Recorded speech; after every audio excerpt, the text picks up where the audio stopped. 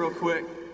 Listen, uh, I'm, I'm so excited about what God's doing in this place. But how many of you realize the Bible says to rejoice with those who rejoice and sorrow with those who sorrow? Amen? And we need to carry one another's burdens, right? Um, listen, I, I just want to kind of just interject something that's very important right now.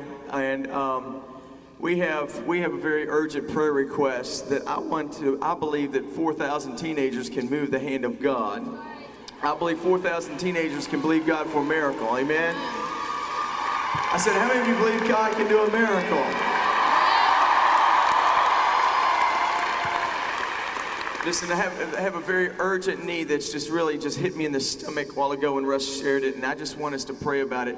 Russ, share with them real quick the situation. Uh, one of my leaders that's here, she, her name's Jane, and we just got a report this morning. Her dad has cancer, but it's to the point now where his stomach is filling with fluid. There's nothing they can do to stop it. Today, her parents are actually going to make funeral arrangements for her dad. And you know, there's a possibility she won't even get home to see her dad before he passes away. So, where, where's Jane at? Where y'all at? Y'all over here again? Everybody extend just this way. Okay, I want everybody to just extend this way right now. How many of you believe God can do a miracle right now? Wouldn't it be incredible? Right now, I want you to lift your voices. Father, in the name of Jesus, Lord, we haven't come here for fun and games. We come here to do business. We believe, Lord, that you're Jehovah Rapha, the Lord God, our healer, and we speak the healing word of God right now to Jane's father. Lord, we ask that at this very moment, at at 9:49, Lord, a miracle will take place in Montana. Lord, the glory of God would fall in that hospital room, Lord, and that you would clear up the fluid. Lord, that you would bring a healing to his body in the name of Jesus. Lord, we cry out to you for a miracle right now in Jesus' name. Holy Ghost, come and strengthen Jane, her family, Lord. Father, let your glory be seen and we'll give you the praise and the glory in Jesus' name. Lord, in the name of Jesus, show yourself strong today in Jesus' name. Everybody give Jesus a clap of praise this morning.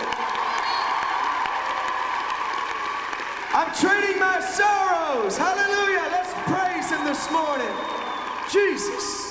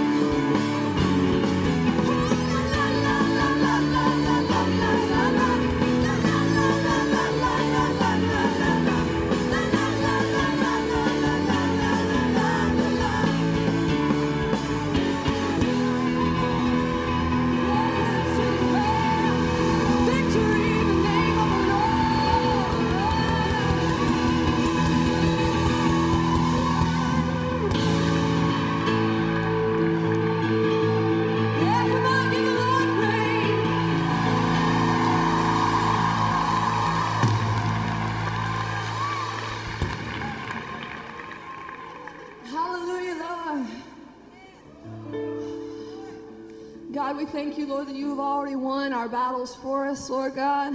That we don't have to fl- fight in our flesh, Lord God, but that we can just rely on you, Lord Jesus. We thank you for freedom, God. Thank you that we can come into this place, Lord Jesus, and worship you however we please, Lord God. Thank you for taking the chains off of, of my life, Lord God. Thank you for taking the religion off, God.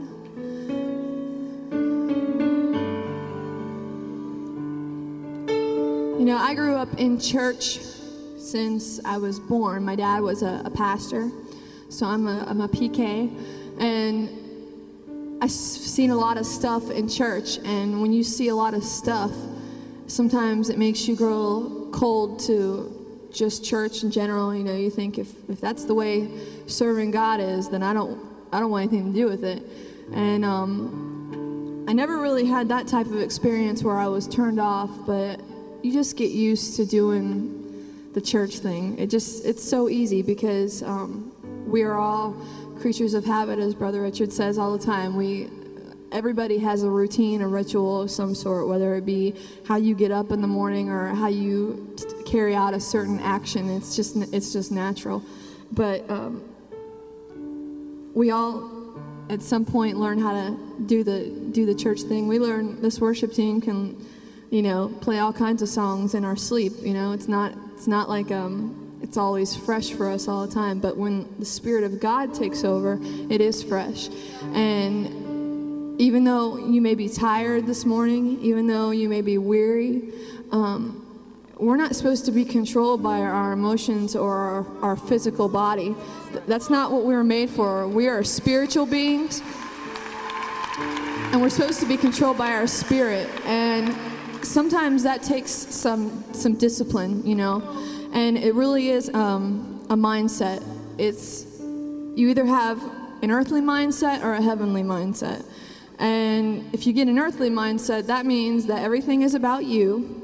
Everything um, revolves around your life and what you like and what you want and the way you feel. And I'm sure there's some of you here that are making your youth group, you know, suffer for your own, you know, complaining and all that stuff because everything's just about you. And, um, you know,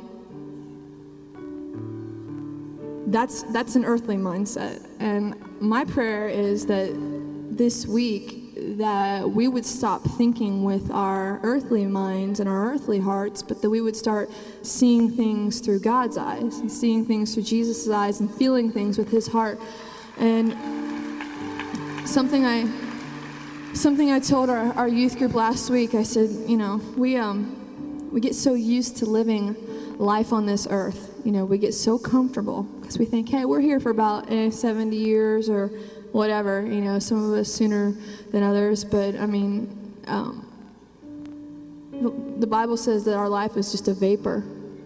And what we have to do here we have to do quickly but we need to always keep our eyes on things above and once you grasp that once you got a hold of that everything you do will be for eternity's sake. It won't be for you and now, it will be for Him forever. Amen.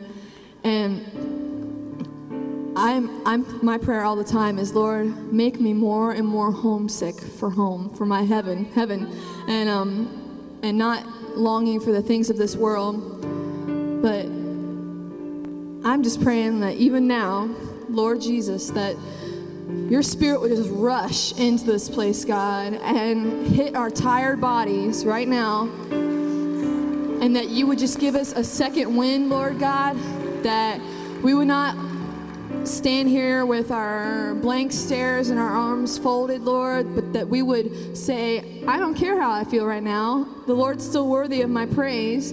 And um, I'm not going to be controlled by my flesh anymore because I don't want to have to wait till I get to the eighth song till you guys are finally with me.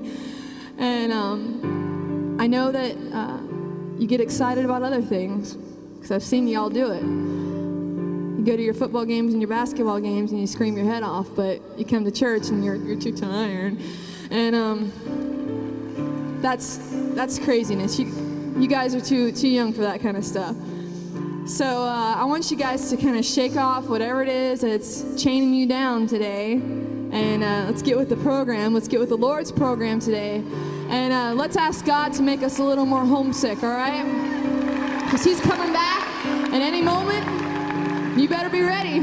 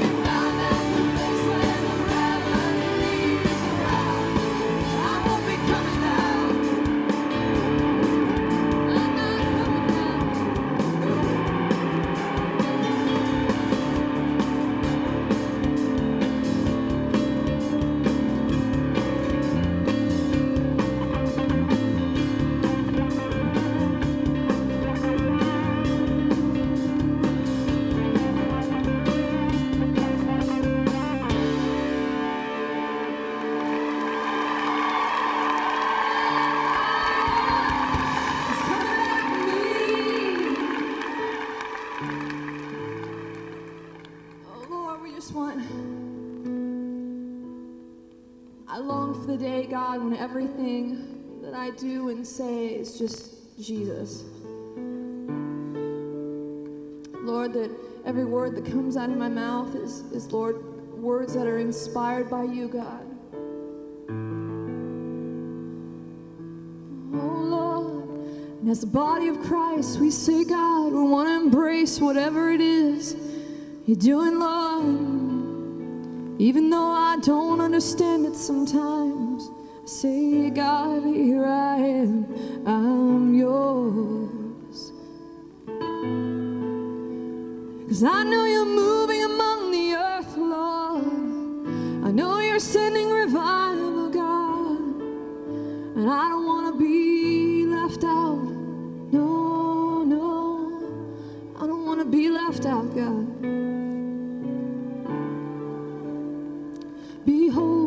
Our God is gracious. He's moving among the nations, preparing a bride for Jesus. That's you, and proving He reigns. His spirit is tearing down walls built on the pride of men. And to those who rejected Him, He's reaching his hand out again.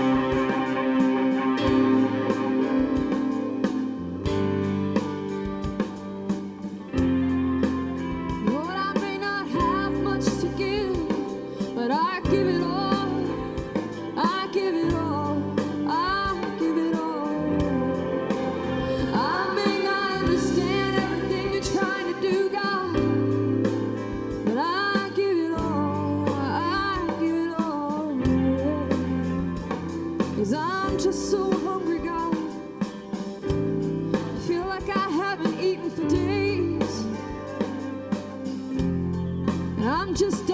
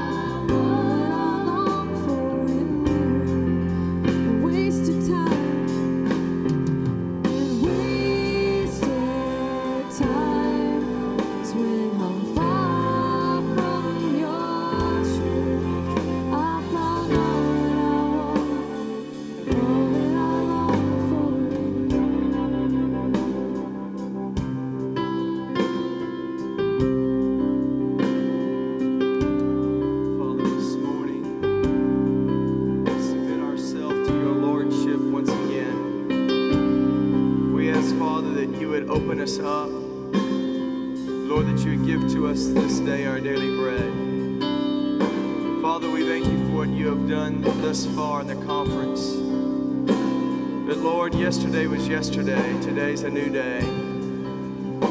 Father, we ask that you would continue to equip us, continue, Lord, to challenge us, fill us, Lord, with vision and fire. Lord, I ask that you would give to us the word of God today and give us ears to hear what you want to say. Father, if I know my heart, if I know my heart, you're all that I want.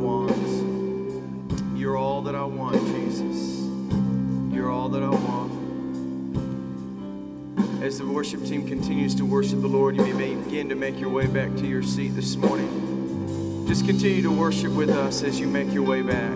Let's sing that one more time. You're all that I want.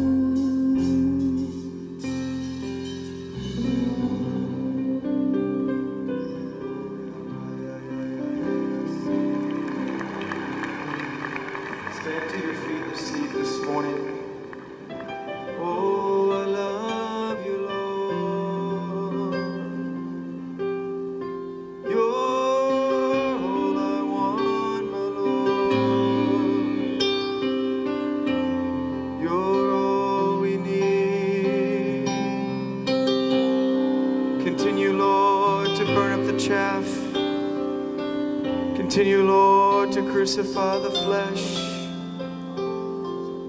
Pour vision inside. Raise up a generation.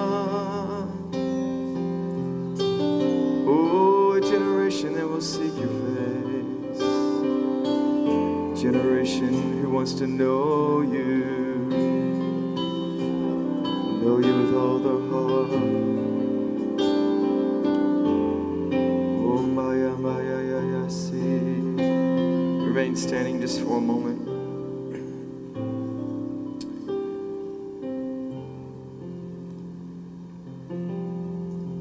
I'm not real good with introductions, but let me just say this. Whenever we plan and we put together a conference, one of my greatest cries and one of my greatest desires is I don't want just talented people and gifted people and uh, people who know how to woo crowds and stir hearts and emotions. And I just, um, you know, emotionalism, I'm a very emotional person, but um, after the emotions are gone, that's when the real person comes out, and that's what's important to me. And the speakers that we try to bring in for our conference, um,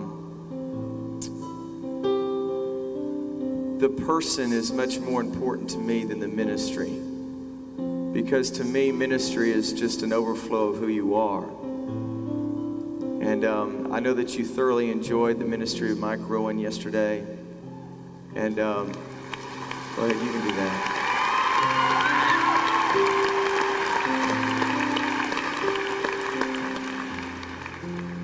But um, my friend this morning, who's going to come to the platform this morning, is truly a friend. Um, I can honestly say that he's probably one of my best friends. He lives in Mobile, and uh, he's been in ministry for quite some time. And he's on the cutting edge of what God is doing in this day and, and hour. And um, I'm, I'm so excited to be able to have Johnny Jernigan be with us this morning. And I know many of you know who he is, others of you may not know, but what you see is what you get with Johnny.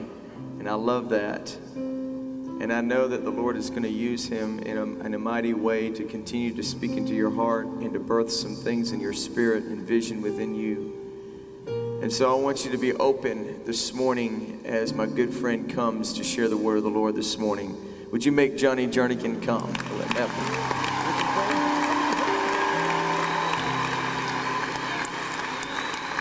Hallelujah. Just remain standing. Come on, let's give the Lord a shout this morning. Can we do it? Hallelujah, Lord. We bless your name.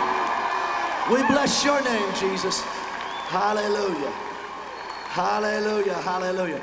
Everybody smile big. Let me see all your teeth. Make this faith declaration out loud. Say it loud. Say, I'm on my way, on my way. to a better day. A better. Smile and shout it. I'm on my way, on my way. to a better day.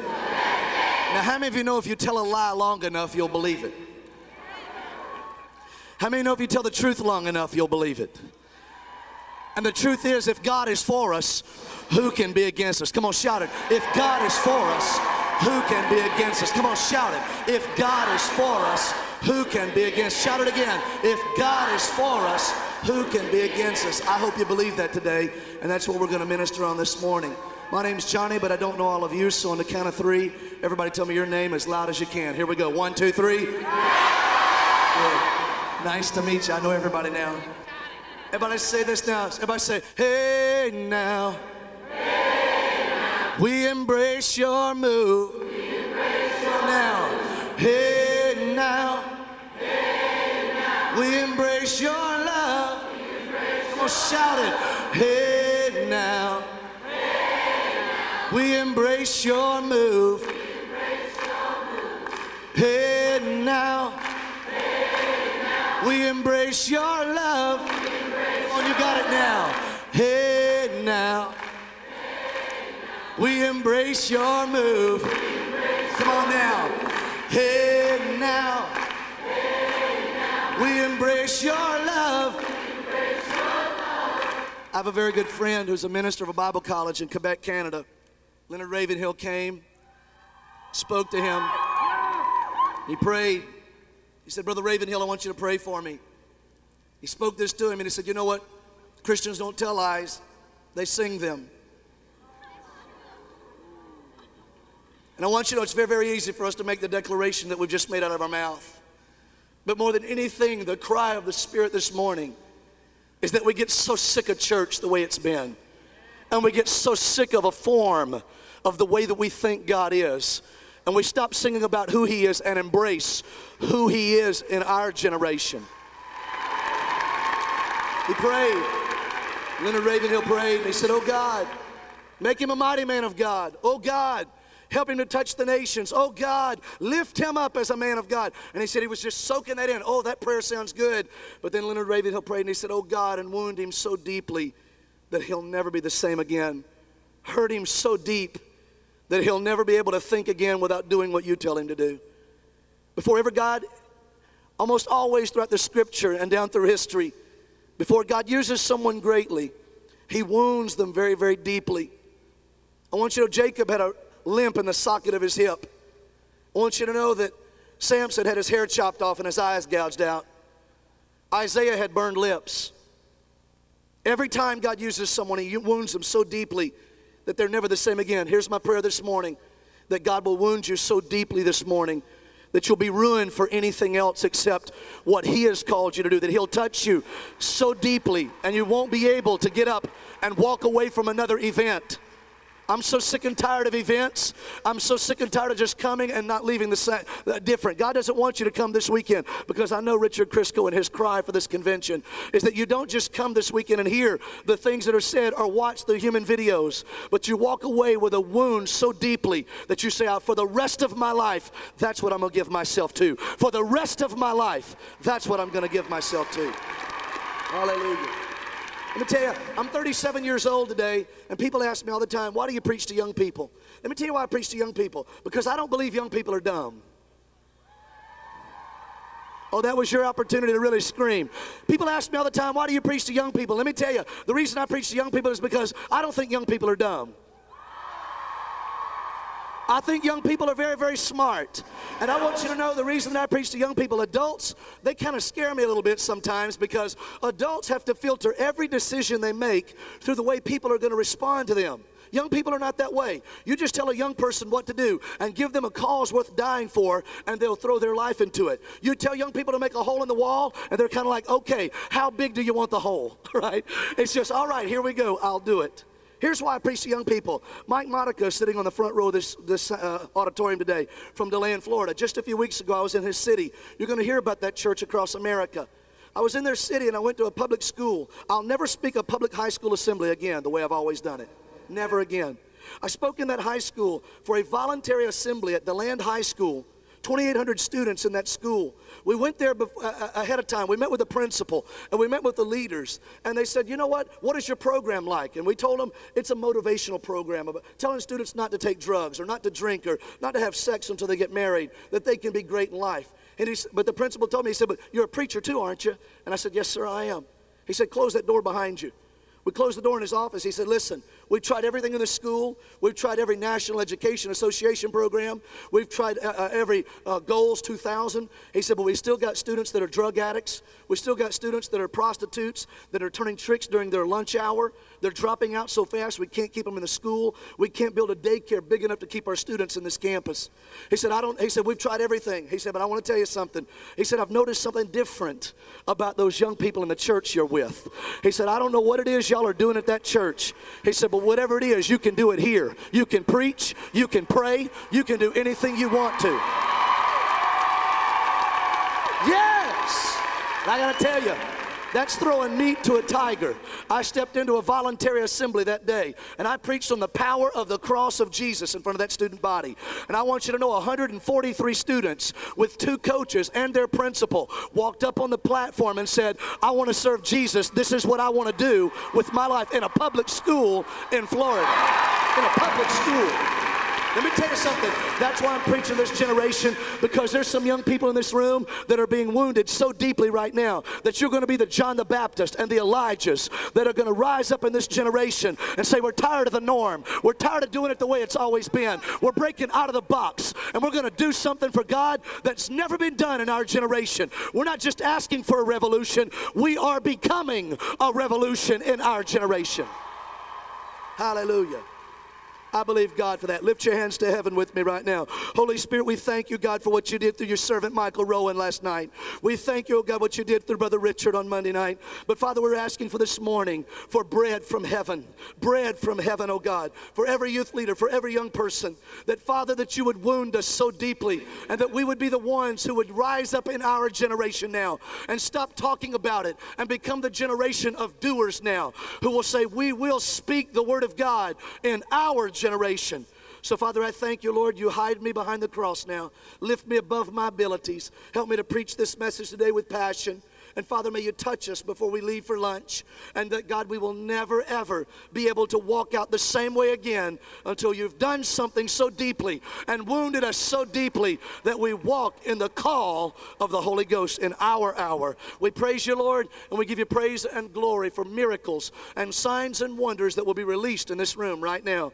Lord, I pray for warring angels and ministering spirits all around this convention center today, oh God. Hold the enemy back. And Lord, don't let us go on a mental vacation because we're tired. But let us be so focused this morning, like we're hungry and we've not eaten in days, and we'll receive the word gladly. And we praise you now. We receive it gladly now in the name of Jesus. And everybody said out loud, Amen. Come on, give the Lord one more shout before you're seated, as loud as you can. Come on, give him your best shout. Give him your best shout. Hallelujah, hallelujah, hallelujah. You can be seated in Jesus' name. Look at somebody next to you while you're seated and say, I love, love, love, love you. Just tell them real quick, I love you, man. I'm glad you're here. Hallelujah. If you have your Bible, let's open them now to Mark chapter 16. Mark chapter 16, beginning in verse 15. Mark chapter 16, beginning of verse 15. We'll look at God's word there together in just a moment. Mark chapter 16, verse 15. I want you to know that I'm so glad to be with you. Thank you, Brother Richard. I'll tell you what, these conferences are producing Holy Ghost terrorists that are going out to do something for the cause of Christ. And I say that because every, almost every one of us in this room have heard the things of God. We've heard the truth of God, but there's something different that happens at this conference every year that I hear across America that the things of God are being supernaturally poured out. Listen to me, the only difference between you and me this morning is perspective. I preach 50 weeks a year all across this country, and I can tell you that God has done something supernatural in your generation. The closest thing that I can associate what I see every week is the Azusa Street outpouring almost 95 years ago. At Azusa Street in a little bitty mission church in Los Angeles, California. How many of you know what I mean when I say Azusa Street? Wave at me if you would. Azusa Street was a little bitty mission church in Los Angeles, California, when the fire of God fell in that little bitty mission. And God has a sense of humor. God has a sense of humor. It was a white church that had a black pastor who only had one eye, and his name was Willie Seymour. that was his name. His name was William Seymour, and the fireman, there's a copy of this from the Los Angeles Times. The firemen went running one night. They saw leaping flames coming off of the building. They went running with buckets of water to put the fire out. When they got there, that black pastor with one eye met them at the door. He said, What are you doing here? He said, We've come to put the fire out. We saw the flames coming off of the building. He said, You're in the wrong place. There's no fire here. He said, Sir, we saw the flames coming off of your building blocks away. We've come to put the fire out. He said, You're in the wrong place. There's no fire here. I'm sorry. He said, Sir, we saw it with our own eyes, flames leaping off of the building. He said, I told you you're in the wrong place. And then he said, The Holy Spirit spoke to him. He said, Oh man, he said, he said, I want you to understand the fire is not on the outside, the fire is on the inside. And the story goes that every one of those firemen walked inside that little mission church, got saved, baptized in the Holy Ghost, and most of them went into full time ministry because the fire of God was burning so strong in the altars of that church. Can I tell you, it's happening again with youth groups all across America that are saying we're not worthy of anything else and we're not hungry for anything else except the fire of God. We're tired of mediocrity because mediocrity never impresses God. What moves the heart of God is a heart of excellence that says, God, with everything that I am, I know how to go to church, I know how to go through the motions, but Lord, I want to do something in my generation. See, the last word of the Old Testament is the word curse. Malachi chapter 5, verse 4, that says, He says, Before the great and dreadful day of the Lord comes, I'll send the spirit of, of Elijah. He'll turn the heart of the fathers to their children, the heart of children to their fathers, or else I'll strike the land with a curse. Period. End of Revelation for 400 years. God did not speak to us for 400 years. And the last revelation we had from heaven was the word curse. God did not intend for his children to live under curses. Because 400 years later, in the book of Matthew, all of a sudden something began to change. And the first words we hear out of the book of Matthew are the words blessing. And God had to raise up somebody who could build a bridge from curses to blessings to reach from one generation to another. And He raised up a maniac named John the Baptist who was just different. He didn't march to the tune of religious organizations. He wasn't a part of an organization, he was a part of an organism. He was a part of something that was so alive that he was walking differently. And God raised him up to speak in his generation. The Holy Spirit spoke to me on New Year's Eve, just about 50 miles from here in Mobile, Alabama. We had a, a conference that we did with Darrell Evans, who was leading in worship that night. 5,000 people gathered in a stadium entering the new millennium. The Holy Spirit spoke to me. He said, Johnny, this is going to be a season in this year 2000 that I'm going to kiss the earth and you're going to get caught in the smack.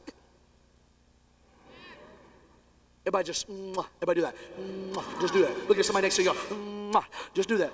It's going to be a season now that I'm going to kiss the earth and you're going to get caught in the smack. He said, Johnny, this is going to be a season. I'm going to clap my hands and you're going to hear the thunder.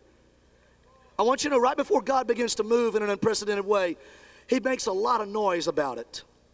God always makes a lot of noise. He's not doing something secret right now. He's making a lot of noise in our generation right now. There's a group of young people that are rising up who have had enough of status quo. They're trying to break out of the box. They're trying to roll back the stone. They're trying to pull the curtain back. They're trying to color outside the lines and say, God, we want to be a part of what you're doing right now. He's kissing the earth right now. He's clapping his hands, and we're, we're hearing the thunder right now. He doesn't want you to live under a curse today. He wants you to live under a blessing. But our nation's been under a curse. We can go back to 1962. From 1962 to 1964, before you were even born, there were events that took place in America that forever changed our country. I'm going to give them to you real quick. There was a Harvard University professor who studied and found that there were three things that changed America forever. He gave you three, I'm going to give you a fourth one this morning. He said there were three things in our generation that forever impacted America where we are right now, from 1962 to 1964. The first was the assassination of John F. Kennedy. When an American president was killed, things went nuts in our country. How could an American president be killed? A door was open and the enemy began to walk in. The second event he listed from his Harvard studies was the arrival of the Beatles in America. That sounds kind of stupid at first, but I think he's right. That when the Beatles came to America, they brought an Eastern mysticism and a drug culture with them. That when John Lennon wrote the song, We All Live in a Yellow Submarine, he was hallucinating. And he made the statement in 1969 that the Beatles were more popular than Jesus Christ. He was assassinated in 1981 in New York. I wonder if in hell today he still believes he's more popular than Jesus. I doubt it very seriously. But a door was open. Elvis Presley, they called him Elvis the Pelvis, could only be shown on national television from the waist up. He was too rude, crude, and socially unacceptable. But a door was open when the Beatles came in that time frame, from 62 to 64 and a drug culture and a music style opened the door. Aristotle, the philosopher, said, as modes of music changes, society changes with it. Today, a generation later, MTV, VH1, and even country music television is showing us in America that it's no longer just from the waist up, it's full frontal nudity. A door was open in this country. And we have not only do we have to listen to it now, we've got to watch it everywhere we go because of the advent of music videos. So it was the, the, the arrival, the assassination of an American president. It was a music culture that began to change. The third event was the Vietnam War. 58,168 men and women. We saw it on the video from the call a while ago. Bled and died for this country. It was the only war in American history we never really wanted to fight. And we sent people to their death for a war we never really believed in. The Harvard professor said those are the three events that forever impacted America for where we're living are today. Those are the three he listed. There's one he missed, I'm going to give to you today. And it was the removal of prayer from the public schools in 1963 by the Supreme Court. When they made, listen to me, when they made that decision to remove prayer from the public schools, this simple prayer was offensive. God bless our parents, our teachers, our principals and our country.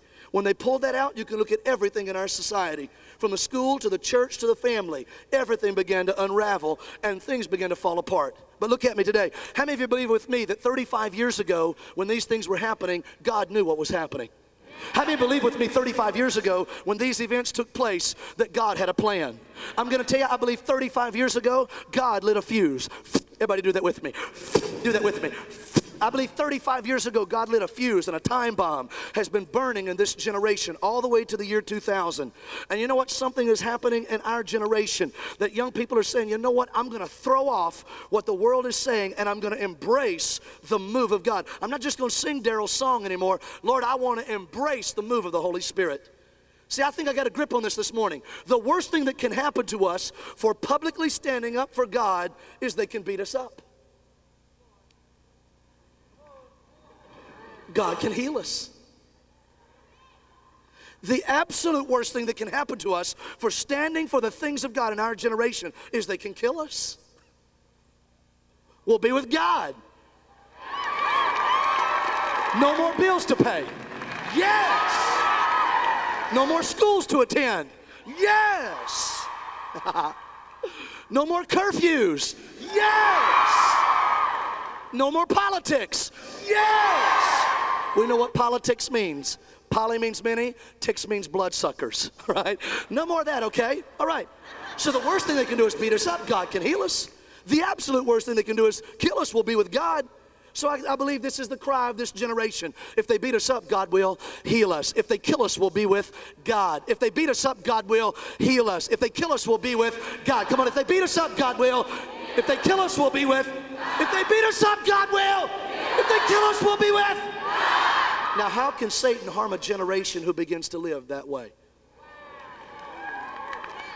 How can Satan harm a generation that says every day when I get up, if it's my last day, I'm going out in a blaze of glory. I'm going to do something for the kingdom of God. I'm going to break the curses off of my generation and I'm going to be the John the Baptist in my day. I'm going to prepare the way of the Lord and I'm going to build a bridge from a curse to a blessing in the things of God. Amen.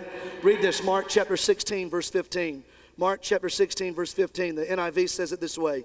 It's in red letters in my Bible. Jesus said it. He said unto them, Go into all the world and preach the good news to all creation. Whoever believes and is baptized will be saved. Whoever does not believe will be condemned. And these signs will accompany those who believe. Underline that right now with me if you would. Put a big circle around it and say, This is for me. Under verse 17. These signs will accompany those who believe. Shout that with me. And these signs will accompany those who believe. Shout it loud. And these signs will accompany those who believe. Let me hear you loud. And these signs will accompany, I still can't hear you. Shout it loud. And these signs will accompany, come on, one more time, shout it loud. And these signs will accompany those who believe. Look at what it says next. It says, In my name, they will drive out demons, they will speak in new tongues. They'll pick up snakes with their hands. When they drink deadly poison, it will not hurt them at all. They will place their hands on sick people and they will get well. Shout it. And they will get well. Shout it. And they will get well. Read verse 19. After the Lord Jesus had spoken to them, he was taken up into heaven and he sat at the right hand of God. Then the disciples went out and preached everywhere. And the Lord worked with them and confirmed his word by signs that accompanied it. I want you to understand that Jesus said, I've done everything I'm going to do now. Now I'm leaving it up to you. And I'm going to send a comforter. He's going to walk alongside of you. He's going to give you power. But I have done everything. Now it's in your hands. He left the disciples with a challenge and with a mandate. I've given you the power and the authority. Now you go and do what I'm about to challenge you with. And he said, Go and preach this gospel. And in my name, you're going to cast out devils. In my name, you're going to speak in new tongues. In my name, you're going to pull deadly things and serpents off of people. And in my name, you're going to lay hands on sick people and they're going to get well. In my name. Listen, he said, Those who believe, everybody shout, believe. Shout it, believe. believe. He says, Those who believe he's, uh, will be saved, those who don't will be condemned. That word believe means to accept as fact. To accept as fact. He's saying in this generation, anybody who will accept this fact, what I have told them, and do what I'm calling them to do now, he said, these signs are going to follow them. We're not going to follow them, they're going to follow us. We're not going to be go looking for them. Let me tell you, if I see anything happening with the move of God in America right now, all across this country, is that we're moving from a time of just coming and soaking in the presence of the Lord, and now we're going out and mobilizing this generation right now to go and do what we were supposed to be doing all along. Everybody say, I love the little preacher. I think he's a sweet little man. Now look at me. We've been we we we're mobilizing this generation. I, I've done 82 Assembly of God district youth camps across America in the last nine years across this country. And, and, and, and, and, that's enough puberty for a lifetime. we had a great time, man, in all of our youth camps. But you know what? The Holy Spirit arrested me just a few months ago. I was talking to Brother Richard about this. I'll never do youth camp the way I have before. The Lord told me, He said, Johnny, He said, you know what? Many times when we go to an event and we leave it, we don't know what happens after that. We come and we preach, but we don't know what happens. He said, I want you to get back in the local churches. And all summer long, this summer, the Lord just arrested me. I canceled all of my district camps, all of the event camps that I was going to be doing. And I've gone to local churches who have a passion to reach their city. And you know what we're doing? We're calling youth groups from all over the area to come in with us and to go out and cut grass for the elderly in that community. And go out and paint houses for people that need a house painted. And go out and door to door, house to house, mall to mall, running through areas telling people about Jesus. I was in Toronto just a few months ago, and we, uh, we were doing a youth convention. I said, you know what? Let's don't do, just do a youth convention. Let's go do something. And we had 2,000 young people in that youth convention, and 600 of us met after the service, and we went to a mall in downtown Toronto, Ontario, Canada. And uh, we went in that mall. We called ahead of time. They gave us permission. We were running in there all around the food court area. And 600 plus of us got out in the parking lot and started doing the Jesus cheer. It was so loud they said they could hear us in the food court. So we started running, 633 of us just going, hey, hey, hey, hey, just running through the halls of that mall. People running out of the stores like, what in the world are they doing? So we ran in the food court area, circled the whole perimeter of that food court Chick fil A, Burger King, Taco Bell's, McDonald's, Wendy's, and they were all in there. And we circled the whole area, about seven or 800 people in there eating. And we walked in there and we screamed out as loud as we could. Uh, I got up on the middle of a table right in the middle, just started pointing at everybody all around that area. And uh, the, everybody's looking around while they're eating. And the 600 people stood up and screamed, Jesus loves you, as loud as they possibly could. It was so loud they heard us out in the parking lot this time. People started running out of their stores. Listen, they gave us 15 minutes in that mall. The next 15 minutes, those maniac young people started going table by table and led 43 people to Jesus right there while they're eating their Taco Bells and their Chick fil A's and their Burger King. It's a generation that's looking for something to do. And we've been bringing young people together, and we've been going house to house, city to city, street to street, mall to mall across this country. I'll be in Oklahoma City in just a few days. We got 500 young people meeting us for the express purpose of saying, you know what, I don't want to just come in here preaching. I want to go out and win somebody to Jesus. I want to go out and pray for somebody. I want to go out and do what God's calling me to do right now because I'm tired of just going through the motions. I want to do something for the kingdom.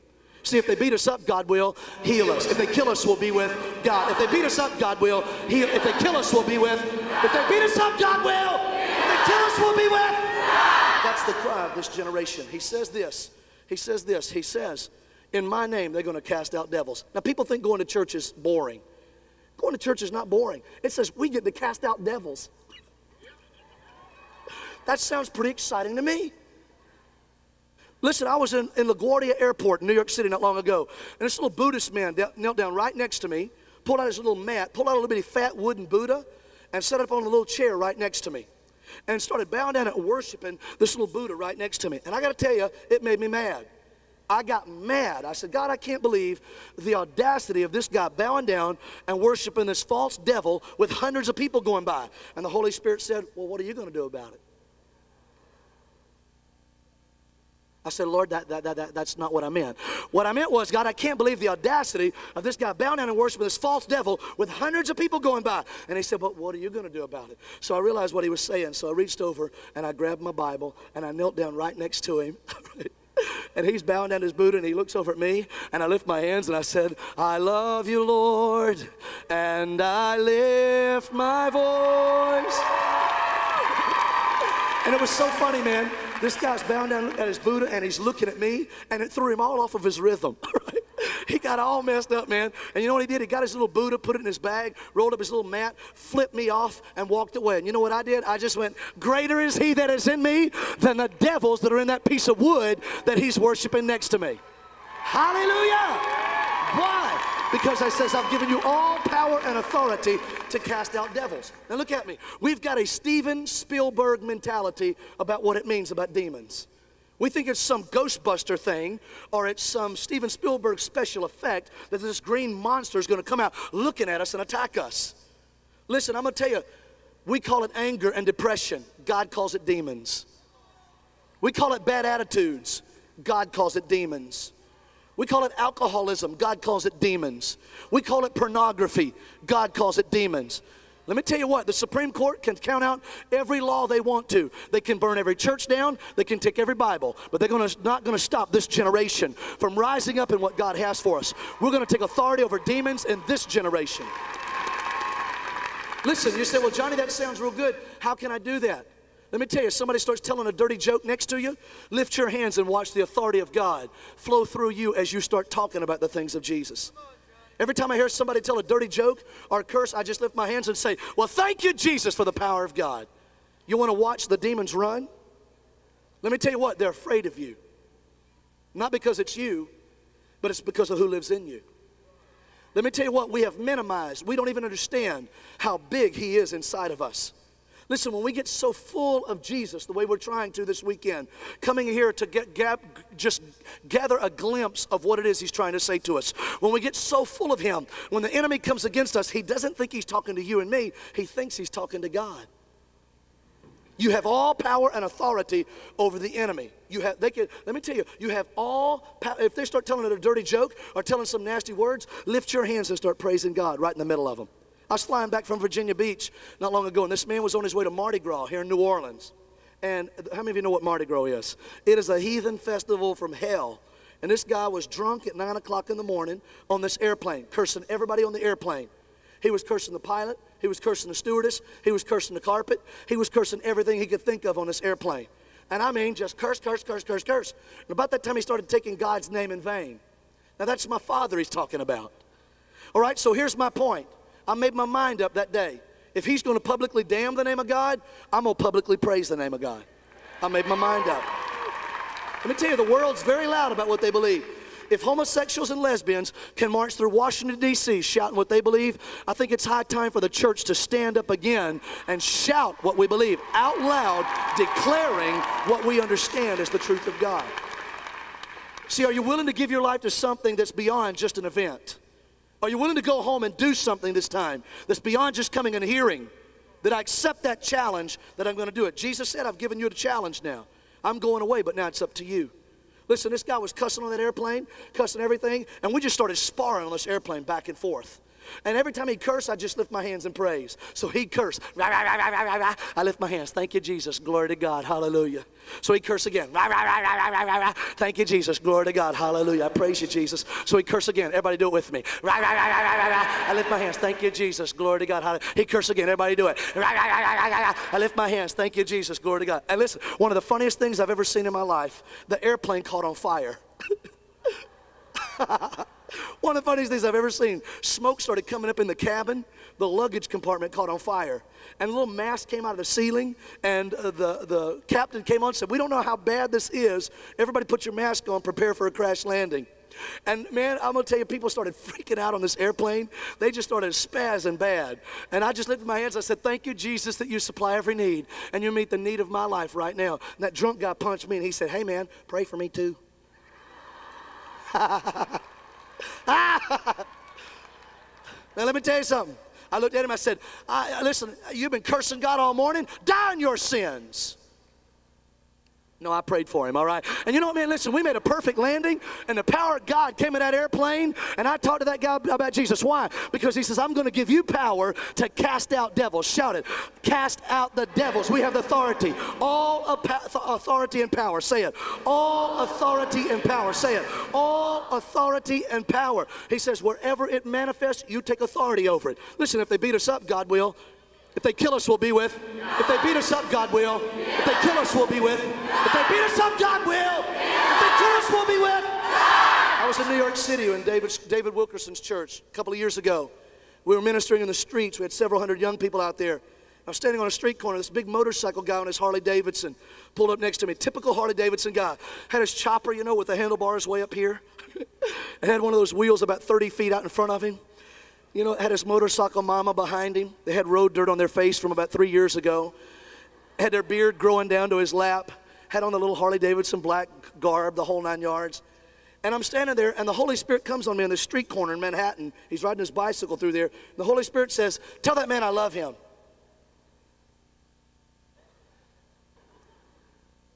And then God and I had an argument. I said, God, let me explain to you the reasons that's not going to happen. All right? All right. First of all, he's big and I bruise easy. All right?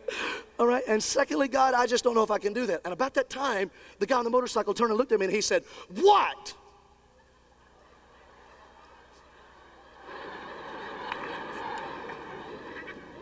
me? He said, What? What are you looking at? And I, and, and I, I, and I, got so nervous. I'm telling you, man. I got so fear, the spirit of fear tried to jump on me. And I looked at him and I said, I, I, Jesus loves you, man. He said, What did you say? And I said, Jesus loves you, and, and I love you, and your mama loves you. And I, I was looking for everything I could dig out, man. I was petrified. And he said, he said, What did you say? And I said, and then the boldness of God came on me. I said, Jesus loves you, and your mama loves you, and I love you. And he stepped off his motorcycle and he walked over there where I was. He said, Have you been following me? I said, I said, no, man, I've been standing right here. He said, every time somebody tells, he said, my mama's been praying. He said, I know my mama's been praying. His mama was a Pentecostal preacher in Oklahoma. and he said, Every time somebody tells me my mama loves me, he said, I know she's praying. And he fell down on his knees and began to weep right there because he knew he was backslidden and away from God. I want you to know that team and myself, we grabbed hands with him and his motorcycle mama and prayed with him. The power of God touched him on that sidewalk. He's a member of David Wilkerson's church in New York City today. He's serving God, he's faithful. Why? Because we have all power and authority over all the demons of the enemy. We have nothing to be afraid of. Let me tell you, this is a generation that lives by fear. It's a generation that is motivated by fear. We're fearful the way we dress. We're fearful. We, we, the way we dress, we, motiv- we live by fear. The way we talk, we live by fear. And it's time for the church to rise up and say, Fear's not going to dominate me anymore. I'm tired of living in fear. Listen, if they beat us up, God will. If they kill us, we'll be with. Now, listen, I've never been beat up for the cause of Christ. In our ministry in the last nine years, we've knocked on over uh, 600,000 doors across America. We've never been beat up. We've never been shot. We've never even had a dog bite us. Worst thing that's ever happened, man, was we walked, this lady just planted some grass in her front yard in Charlotte, North Carolina, and we were in a hurry to get over to her house. And we, we started, oh, come on. And we went over there and knocked on the door of her house, and she, we, we didn't know she had just put new grass in her yard. So, uh, man, we just, uh, just walking right through it. And she came out and called me all kinds of names. she cursed me like I ain't never been cursed. I mean, she, that woman could curse the paper off the wall. I'm telling you, she knew how to curse. Now, how many of you know if getting cursed for Jesus is the worst we ever endure, we've endured very little for the cause of Christ. And you know what, man? Everywhere we go, we have found out that the spirit of fear is dominating the church. It is time for young people to rise up and say, you know what? I'm not going to let fear dominate me anymore. Because you know what they're waiting for? They're waiting for you to set them free. They're sick of their drugs. They're sick of their alcohol. They're sick, man, of the pornography and the perversion. They're sick of the party life. They're looking for somebody that says, I have found the answer, and this is the way, walk with me. We have all power and authority. All power and authority. And Jesus said, I've given, if in my name, if you accept as fact, say it. Accept as fact. Say it. Accept as fact. If you accept as fact what I have called you to do, he says, these signs are going to follow you. In my name, you're going to cast out devils. I'm going to tell you what, that's an exciting life. It's not boring, it's exciting. That every day, listen, we don't get up in the morning saying, things are so bad. Oh, Lord, help me. All right. Oh, Lord, help me. That's not the way we get up every day. We get up for an opportunity to say, Father, as I go to the school today, I'm waiting for an opportunity to minister for you. I've just joined with another evangelist named Tom Sipling from Pennsylvania. We just joined with him. And what we're doing is we're challenging students across America to join in what we're calling the 30 second kneel down the 30 second kneel down that we're asking students. They so told us we can't pray in our public schools publicly. So what we're going to do is ask the students to go in. And if it's student led and student initiated, young people can do anything they want to on their campus. So we're challenging students to go to their locker well at the very first call of the bell in the morning. And as students are walking by, kneel down for 30 seconds in that locker well and lift their hands and cry out for the power of God to come in that school. Let me tell you, if, if, if Buddhists can do this and Hindus can do it, surely Christians can pray in their schools. We're asking them to kneel down and lift their hands for 30 seconds and pray for their principals, their teachers, and their friends and revival on that campus. Can you imagine what's going to happen? That no longer we're just standing at a flagpole, now we're moving into the locker wells, and our friends are walking by, seeing us on our knees, lifting our hands to heaven, saying, What in the world are you doing? And we say, We're casting the devils out of this school. If they beat us up, God will. If they kill us, we'll be with. I'm gonna tell you what, that really is how deep it really comes down to. It's no big deal for us if we know what God's called us to do. And you know what? I've never been beat up for the cause of Christ. Not yet. There's still an opportunity. Hadn't happened yet. I, have never been sh- I've never been killed to this point. I have not died for the faith. So while I have an opportunity, I have a chance right now that I'm going to lift it up for Jesus. He says, "I've given you the power and all power and authority to take authority over those strongholds that have had me in bondage." I'm sick and tired of seeing schools, and I walk in public schools all the time with our program. I'm sick and tired of seeing students bound up a little group of Christians and the uh, and the drug addicts and the perverts being the ones on the campus dominating what happens there. Let me tell you, I don't care if they're the most popular, if they're the richest or poorest, poorest on that campus. The only thing that separates them from God is an invitation. They need somebody who's bold enough to say, you know what? The power of God lives in me. How many believe He lives in you? Come on. How many believe the power of God lives in you? Then He says, I've given you the power. I'm giving you the authority now that you go out and you cast out devils. He said on, he said, in, in, my name, they're going to speak in new tongues. How many of you have been baptized in the Holy Ghost? You're a tongue talking, Holy Ghost, Spirit filled believer. Come on. If you've never been baptized in the Holy Spirit, you need God to so fill you this week that you walk out speaking a whole new language. We believe in the baptism of the Holy Spirit. It is a Pentecostal distinctive. And you know what makes us different is because we believe all the gospel. We believe that the speaking in tongues is for this generation. And let me tell you, we have backed way down from that doctrine. We've backed way away from the fact that we speak in tongues. I've a long time ago stopped feeling funny about speaking in tongues. I thank God that I speak in tongues. How many of you were raised in a Pentecostal church? Raise your hand real high. You were raised in a Pentecostal church. Ra- Raise your hand, wave at me. All right. How many of you were not raised in a Pentecostal church? Raise your hand, wave at me. Okay. About more of us have come into the Pentecostal church. Now, God plans it this way. I'm convinced God plans it this way. Very first time you go into a Pentecostal church, very first time, God plans it this way. You've never been in one before. Very first time you walk in, whoever you sit next to in that service, God's going to use them to speak in tongues and prophesy and scare the tar out of you. How many of you relate to what I just said? All right? First, I never forget first time I went to a Pentecostal church. My wife, the young lady that I was dating, uh, I'd asked, we went out on a blind date. Girl that I married now. Uh, she was definitely blind. And I, she said, I'll go out with you if you go to church with me. So I went to church with her the next day. Never been in a Pentecostal church before. I was raised Baptist. And I walked in there, and there was a woman about 130 years old sitting next to us. I mean, this woman was old as dirt. I'm telling you, man. And we were sitting in there, and all of a sudden, they started singing a song.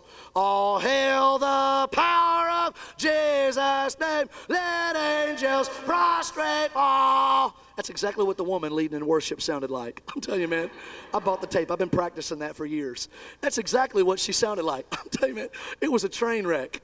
And uh, uh, they were singing that, and all of a sudden it got quiet.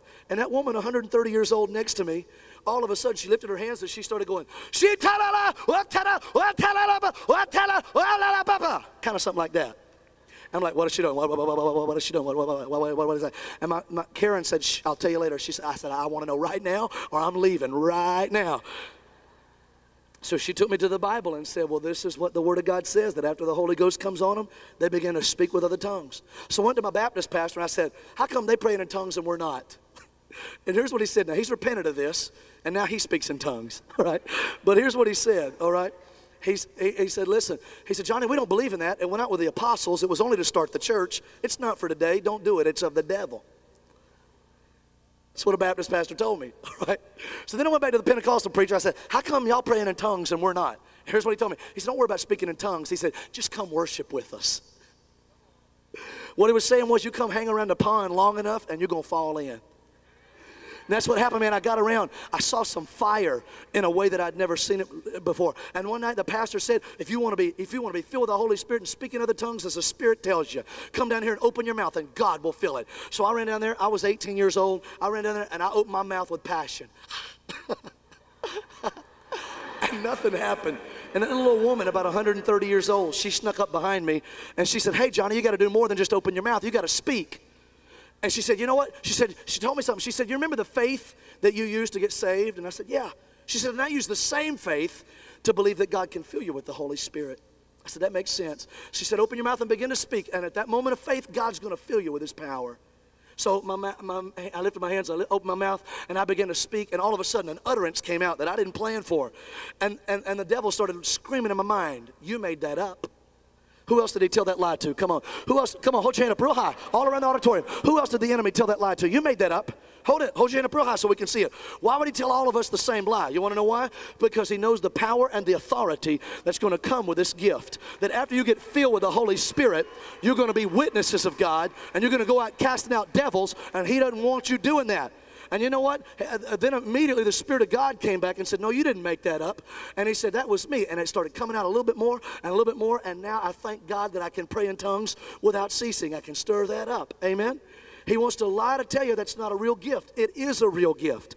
It is a power from heaven. The Bible says they were all gathered in the upper room. Everybody say upper room. Do this with me, upper room.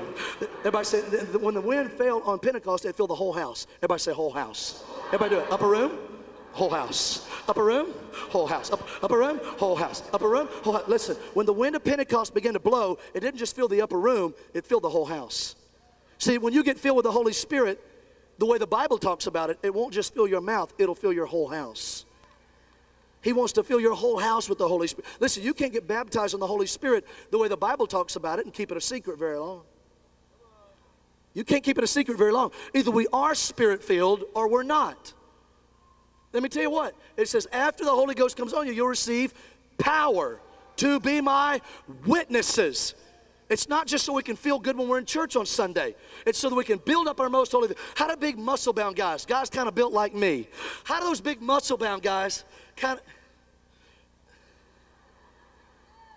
How do they become big muscle bound guys? It's, uh, they don't do it overnight. It's because they're lifting those weights over and over and over. You know what? You know how you build yourself up? Praying in the Holy Ghost. Praying in the Holy Ghost. Stirring up your most holy. I know uh, that pastor that I was telling you about. All right, he got in his bedroom not long ago, and he started. He was watching T.D. Jakes on television. Right, and that's dangerous to begin with. He's watching T.D. Jakes on television, and he gets his, in his bedroom. He says, Lord, fill me, Lord, fill me, Lord, fill me, Lord, fill me, Lord. And all of a sudden, he said, man, in his bedroom, he said, all of a sudden, man, the power of God came on him. And he said, right there, Baptist preacher. And he standing there and he said, nobody grabbed my throat and said, glory, glory, glory, glory, glory, glory. He said, nobody shook me until I fell. Nobody hit me, poured oil over me. He said, all of a sudden, man, the power of God just came over me. And he said, I began to speak, and all of a sudden, started just pouring out of me. And he was like, and after 30 minutes, he said, it just kept pouring out of him, poured out of him. He said, all of a sudden it dawned on him, I'm a Baptist preacher, praise God what am I going to do now? And it was on Saturday night when this happened. The next morning was Sunday morning. He was getting ready to go out and minister. And he said every time he opened his mouth, that Holy Ghost language kept coming out of him.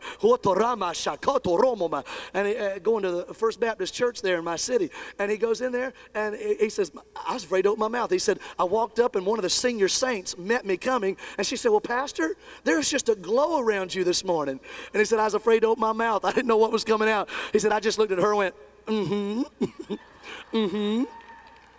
And he said, I got in there that morning. We were making announcements in the morning service. He said, I said, if you would, please open your bulletins. This week we're going to have.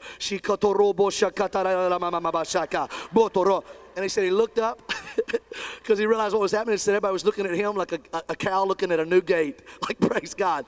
And the deacons got up and ran out in the hallway and had a little meeting. They came running back in and said, Pastor, we don't believe in this. You got to go. He said, I lifted my hands and he said, I'm free at last. I'm free at last. Thank God Almighty. I'm free at last.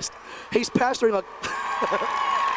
He's pastoring a charismatic church now over in Hurley, Mississippi, about an hour and a half from here. His church is exploding. Why? Because the Bible says after the Holy Ghost comes on you, you're going to have power to speak in tongues. Listen, you don't have to speak in tongues to go to heaven, it's just going to help you enjoy the journey here. You want power. How many of you want power when you leave this conference? You, you don't want to just come and plug into this. We could take two extension cords and plug one over on this side and one over on this side and bring them to the middle and cut the ends off where it's just bare copper wire and touch them together. What's going to happen? And that's with 110 volts. Imagine what happens when the power of God begins to flow through us. He said, In my name, these signs are going to follow you. You're going to cast out devils. I'm going to ask you, man, are you giving God a chance? I am convinced that the only thing that God needs from us is an opportunity. If He didn't need us, we wouldn't be here. He works through people. He didn't die for horses, rocks, cows, dogs, and buildings. He died for people. And He wants to mobilize you right now. I am convinced that the only thing He needs is an opportunity. He just needs an opportunity to do a miracle. And if we'll just give Him that chance, that God, I'm gonna, I'm gonna keep ministering until the miracle power of heaven flows. He said, In my name, you'll drink deadly poison, it'll not hurt you at all. You'll pick up snakes and they won't harm you at all. Now listen, he's not talking about figuratively here. We're not gonna bring a snake box out here today and let a snake bite you and see who's spiritual enough and bold enough that if the snake bites you, you're all right. That's just dumb. That's not what he means. He's talking about in reference to the Great Commission again. He's talking about going out and preaching the gospel, mobilizing and going and doing what I've called you to do now. And he said, as you go and make disciples, as you go and preach the gospel, those who believe will be saved, those who don't will be condemned. And he's saying, you'll pick up snakes, but it won't hurt you. In other words, you'll touch deadly things in people's lives and you'll pull it off of them, but it's not going to hurt you at all.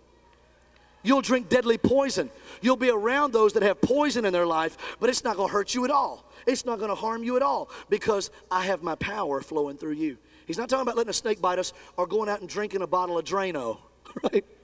He's talking about that no matter what the deadly things are in their life, I'm going to pull it off of them so that they can walk in the power and the authority of God. He says it's, it's not about the, the physical thing, it's about the spirit thing. See, we got to get in a place. We got to get in a place that I'm willing to walk into their life. I'm willing to walk into that school. Listen, I wish I could be in high school again. Dear God, I wish I could be in high school again. If I could be in high school again, I'd get the biggest, gaudiest Jesus t shirt I could find. I mean, Jesus letters this big. And I'd get that big 45 pound Bible my mom had on her coffee table when I was growing up. And I'd walk up and down the halls of that school singing, Yes, Jesus loves me. You're going to hell. Yes, Jesus. If they beat us up, God will. If they kill us, we'll be with. If they beat us up, God will. If they kill us, we'll be with. If they beat us up, God will. If they kill us, we'll be with. That's the cry that God's asking you to answer this weekend. He's asking you to say, Well, I put myself in a position that I'm going to move out with my youth pastor. I'm going to move out of my school. I'm going to move out of my church. And if nobody else has that fire, I've brought the fire. If nobody else brings it, God, I've got it. Because the worst thing they do is beat me up or kill me. So it's not a big deal. He said, In my name, you're going to cast out devils. You're going to speak in new tongues. You'll pull deadly things off of them, poisonous things off of them. And he said, You're going to lay hands on sick people, and they're going to get well. Listen, I was in Orlando, Florida just a few months ago. Johnny Wilson, Faith Assembly of God. We were there with 1,500 young people in a gymnasium. 1,500 young people were singing that song, I'm trading my sorrows. I'm trading my shame. Just singing that song, dancing for the glory of God. And all of a sudden, we noticed in the back of the room there was a commotion in the back of the gymnasium. Was a girl who had spina bifida since she was born. She's never walked. Listen to me. Call Johnny Wilson, Faith Assembly of God. He'll tell you what I'm telling you. We walked into that room, and as we were worshiping, there was a commotion in the back. This girl was in a wheelchair, spina bifida, her body completely bent and wrinkled. They started, some of her friends grabbed her wheelchair and started running through the crowd all the way to the front of the room. Came up right to the front, to the altar area, just like down here. And Johnny Wilson was playing the piano. I was up here uh, leading. We were worshiping together. And all of a sudden, this girl starts pushing up out of her wheelchair. She's so desperate, she wants to get up with these other young people. She wants to dance with them. She wants to worship with them. 14 years old, never walked.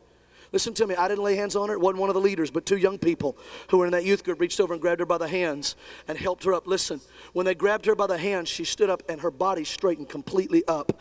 Spina bifida was healed instantly. Instantly.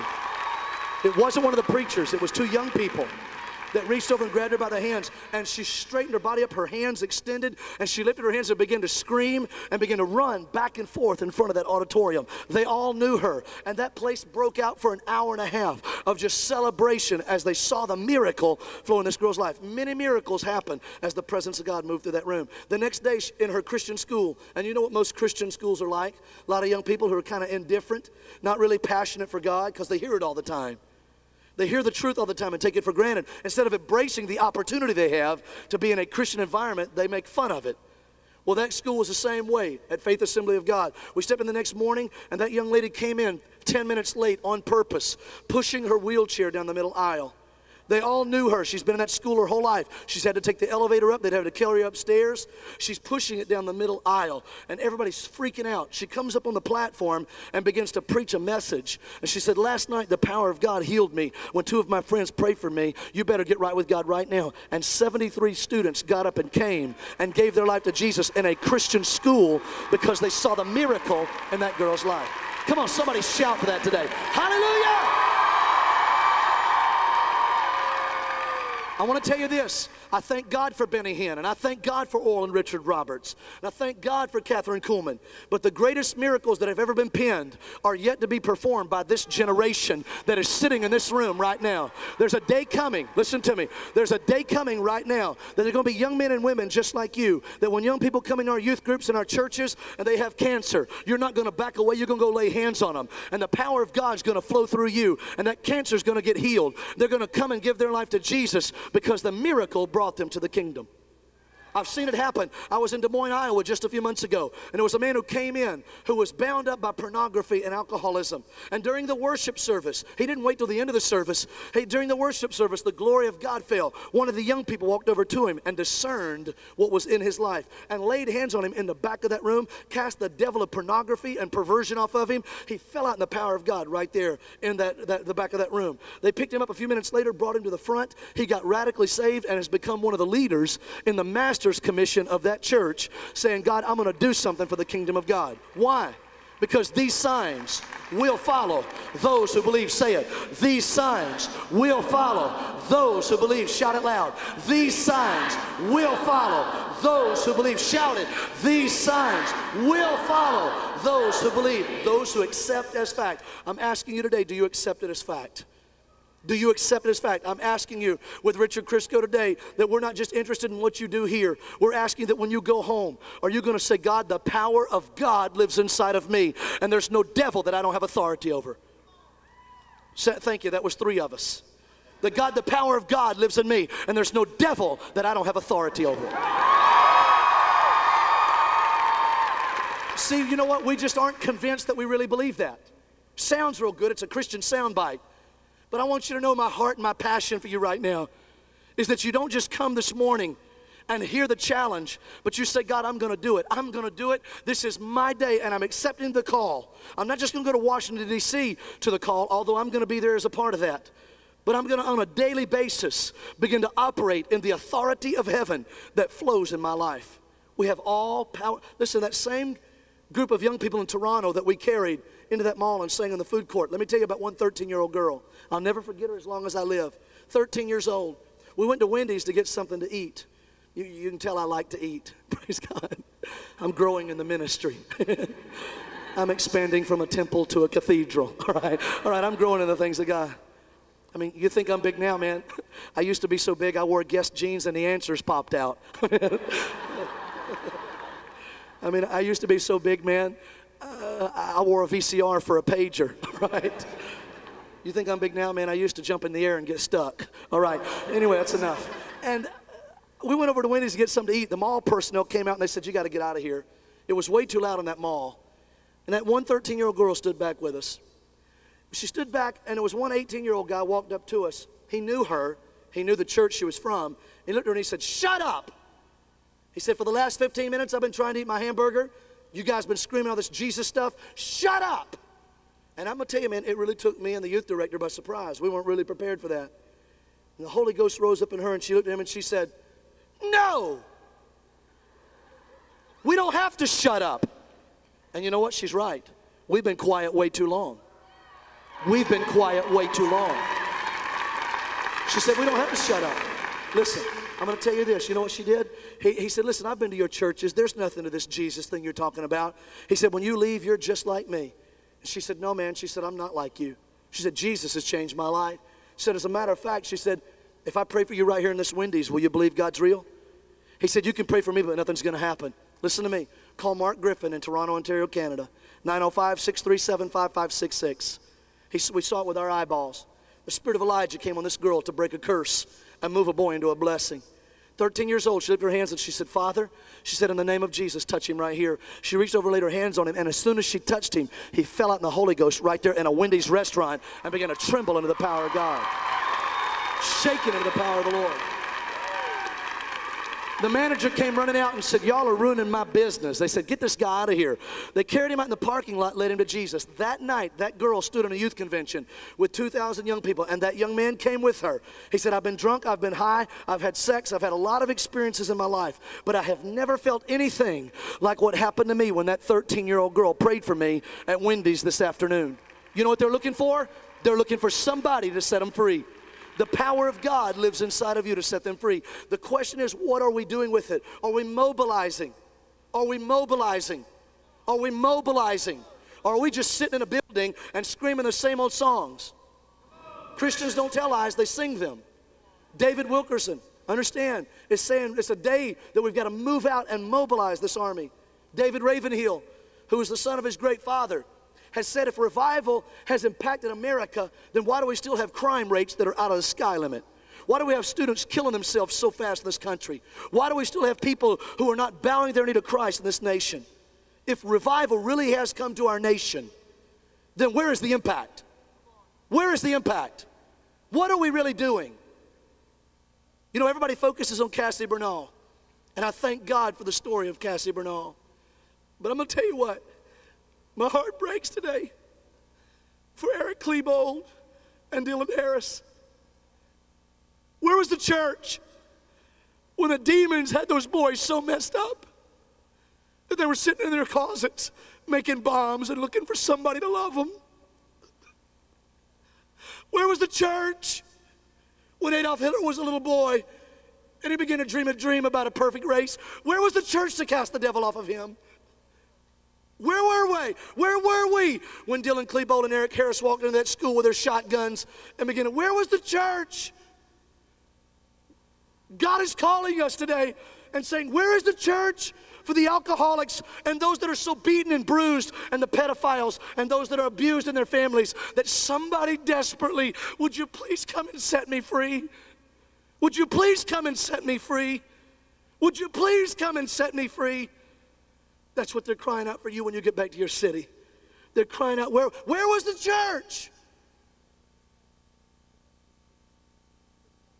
I had a young man in my youth group years ago in Mobile, Alabama. His name was Byron Kinsey. And I loved him with all of my life. And Byron Kinsey, when he was in the eighth grade, he was not a great student. He was making, failing out, as a matter of fact. He started hanging with the wrong group. One day, his friends went out drinking and driving, and he was underage and he was with them. They got caught and they had to go to jail. His parents had just gotten saved, but they didn't know what to do with their eighth grade son. They called me, said, He's in jail. Would you go get him? And I went down to the judge and I said, Judge, would you please let me be his probation officer? And I want you to make him come to church.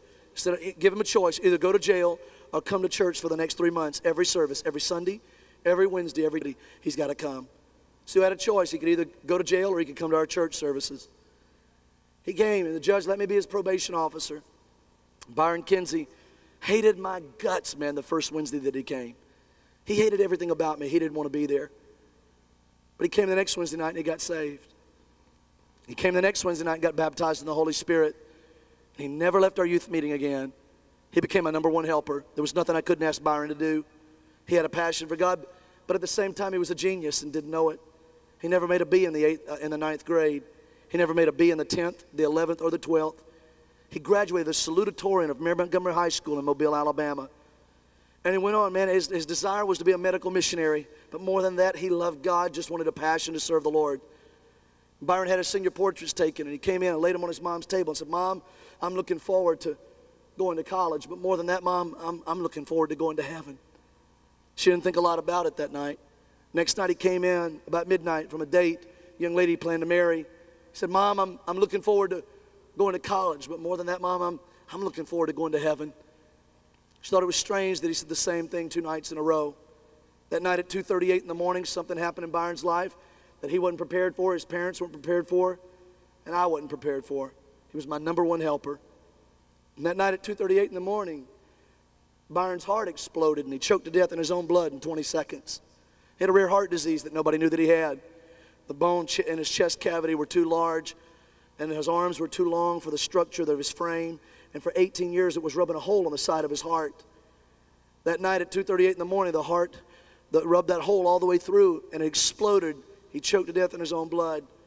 Byron went to be with Jesus in 20 seconds, and I know him. I knew him intimately, and I began to cry out, "Lord, why, why?" And at his funeral, I stood up with all of those other young people. 1,100 students came to his funeral from that school because they all loved him. He was, they called him the preacher boy on his campus. They all loved Byron. When he came to that funeral that day, we preached on Byron's life. Byron had a rare heart disease that nobody knew that he had. He didn't know that he had it. The doctors didn't know he had it. His parents didn't know he had it. But God knew. You know what the problem is in the church today? We got a heart disease that we don't know that we have. And that is that we think that going to church is enough. We think that going to an event is enough. We think that shouting the shout is enough. But you know what the cry of the Spirit is right now? The cry of the Spirit right now is that you say, God, I want to get beyond just going to the building. And I want to go to the place that Luke chapter 14, uh, chapter 16, verse 15 becomes alive. Mark 16, 15 comes alive in my life. That in, my, in His name, that I'm going to go and cast out devils. That in His name, I'm going to speak in new tongues. In His name, I'm going to pull the poisonous things off of Him. In His name, I'm going to stand up and once and for, my, for all in my life, I'm going to find something that's worth dying for. And I'm going to be the one that there's not going to be another Eric Claybold. There's not going to be a Dylan Harris. There's not going to be another one who's going to come up. I'm going to be the one. And before they ever get so bound up by the demons, before they ever get so bound up by the drugs and the alcohol, I'm going to be the one, God, that's going to go lay hands on them and break that thing off of them and set them free. I'll be the one in my generation that will go and save them and pull them out of that thing that they're in. Lift your hands to heaven with me, Holy Spirit. Holy Spirit, I'm asking you today. Where is the church? Where is the church when the Supreme Court, when the Supreme Court can begin to make its decisions the way they're making? Where is the church when we can allow a partial birth abortion ban to be given by the Supreme Court? Where is the church when they say that we can't pray at football games anymore? Where is the church when they say we can't walk that way? I'm going to ask you to just lift your hands to heaven and say, Holy Spirit, today, Holy Spirit, today, let me answer that call. Let me answer that call today. That I'm not just going to talk about it anymore, I'm going to become it. I'm not just going to think about it anymore, I'm going to become it. Where's the church? I want you to ask yourself right now, where is the church in my city? Are we setting the captives free? Or are we just singing our same old songs in our buildings that we've been singing forever? Where is the impact of revival? Are we really seeing it happen? Are we mobilizing this generation to move in that way?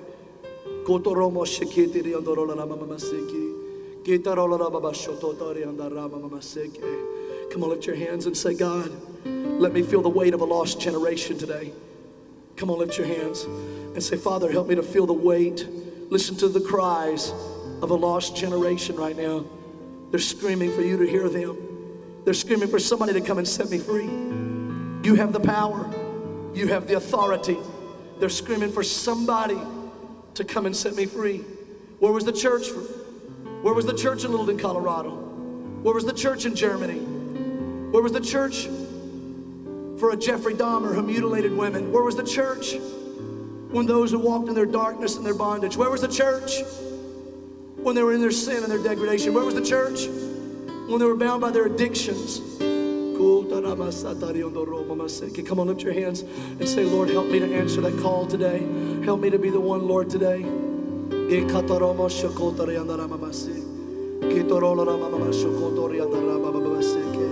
Come, Holy Spirit, in this room right now. Come, Holy Spirit, in this room right now. Come, Holy Spirit. Michael Rowan last night asked you, who's worthy to carry the torch? I want to pick up where he left off tonight and ask you, who's going to be the one that's going to cast the devils off of them? They're bound by strongholds. They're bound by addictions. Just got to move beyond talking about it. It's a call that while you're in Pensacola this week, that you leave a deposit that every when you go to Whataburger or you go to McDonald's, that if somebody's full of the devil, you cast it out of them right there at McDonald's. That you lift up the cause of Christ and you lift up the standard. Are we willing to die for something? This is the generation that our government says is not willing to die for anything. But I believe that there are young people in this room that the Holy Spirit says, I want to use you to be the one who will go pull that off of them. That they don't become the murderers anymore they don't become the alcoholics anymore. They don't become the addicts anymore. They don't become the perverts anymore. But you pull it off of them from the top of this room to the floor, from side to side, to front to back. The thousands of young people in this room. There was only 120 in the upper room. The Bible says that they turned the world upside down. There's thousands of us in this room that if we really mean what we're here at this convention for, it says we're branded by the fire. Are we going to be so touched so deeply that just like Jacob had a limp in a socket of his hip, that God, I'm never the same again. I'm ruined for the world. But I've got to manifest what you told me to do. And I'm not going to just sit in the church anymore and rot. I'm going to go and do it, Lord. I'm going to go and do it. There's a big cost involved in this. If you come and you raise your hand and you step forward for what I'm about to ask you, if you do it because you think the person around you wants you to, you're doing it for the wrong reason. If you're doing it because Richard Crisco or I or a pastor wants you to do this, you're doing it for the wrong reason. But if you're sitting here today and saying, Holy Spirit, I feel that fire burning in my heart, that there are people in my city that are bound by devils, and if I don't set them free, God, who's going to do it? There are people in my city that have poison and they have snakes around them. If I don't pull it off of them, God, who's going to do it. There are people in my city who are sickness, God. They have cancer and they have they're, they're bulimic and they're anorexic and they're depressed. And if I don't set them free, God, who's going to do it? This is the cry of the Spirit for your heart right now. The cry of the Spirit for you. I want you to look at me right now before we pray. When I was 18 years old, I had the job of my home church at the Baptist church that I told you about, of locking and unlocking the church every Sunday. It was a big responsibility for an 18 year old. It was my job to lock the doors of that building. I had to turn the lights on, turn them off. I was the leader of our youth ministry. And I really had a passion for God. But I wanted to know what God's will was for my life. God, do you want me in the ministry? I began to believe He was calling me. And I stepped out and I went to the, the pastor that night after Sunday night and I said, Pastor, would you mind if I come back to the church? And I just unlock the door and come in and just seek God. I want to seek God all night long. He said, I'll be fine, just turn the lights off when you leave.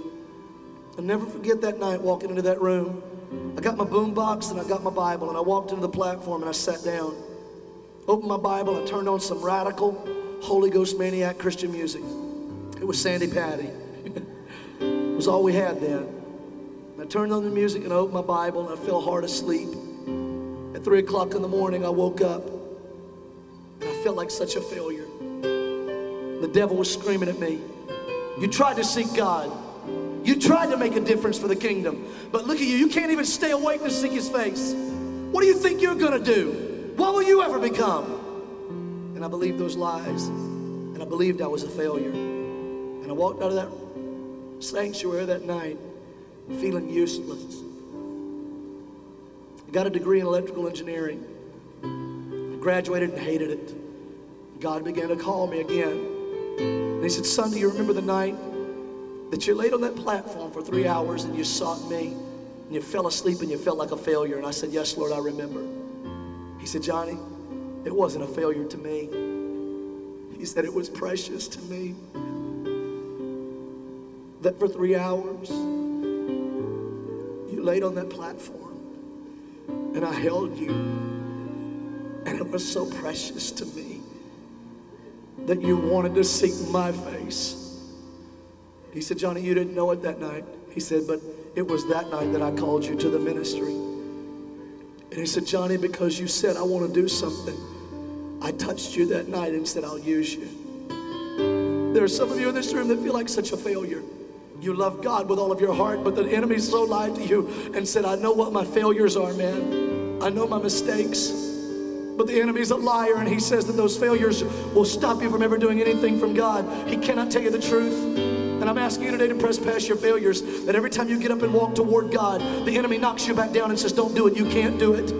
There are many hundreds of you, maybe even thousands of you in this room, that that failure has locked you down from being the one that would cast the devils out. That failure has locked you down from being the one who would heal them. That failure has locked you down from being the one that would open your mouth and proclaim the good news. I'm asking you today to press past that failure. I move beyond my failure to where I am today, and I have the privilege of standing here. Come on, lift your hands to heaven and say, God, help me to move past my failure now.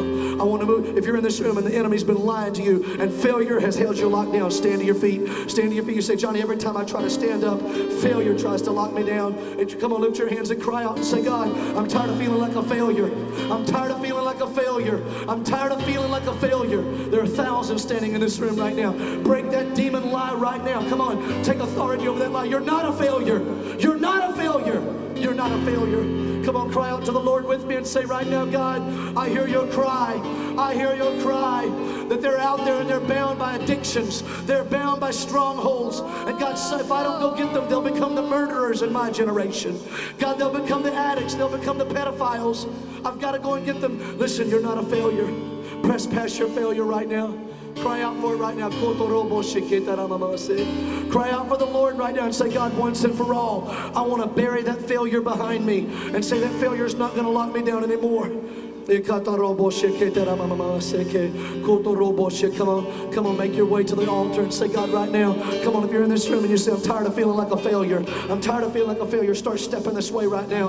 Throw that devil off of you. It's a demon spirit that we're going to break off of you right now. We're going to break the spirit of fear off of you right now. We're going to take all authority over the enemy over you right now, and the Lord's calling you now to be the one who will rise up. Come on, lay those failures down. Lay those failures down right now. Every failure. Come on as close as you can. If you have to stop in the aisles, just stop in the aisles. Kneel down and say, God, today I'm burying this failure. I'm getting out of that demon stronghold once and for all. I'm getting, come on, right now. They're coming out by the thousands. Come on, believe right now. Believe right now. That bury that failure. Come on, right now. Every bit of it. Tell the devil right now that lie won't work on me anymore, devil. I'm burying my failures. I'm burying all of my mistakes. I'm burying every time that I got up and fell down. Come on, right now. His cry is in this room. Give it to the Lord right now. You picked up the torch last night. You picked up the torch last night. Now bury your failures and break that demon stronghold off of you today. And say, Lord, I'm going to go out and do it now. I'm going to cast the devils out of my generation. I'm going to heal the sick in my generation. If they beat me up, you're going to heal me, God. If they kill me, I'm going to be with you. But I know this is your cry. Oh, there's a place within my heart that longs and cries for only Where is the church? Where is the burning in my church? Where is the church? to see the bride united in red. Let children Now, come on, cry out for it right now. Bury those failures. Bury those failures. Bury those failures.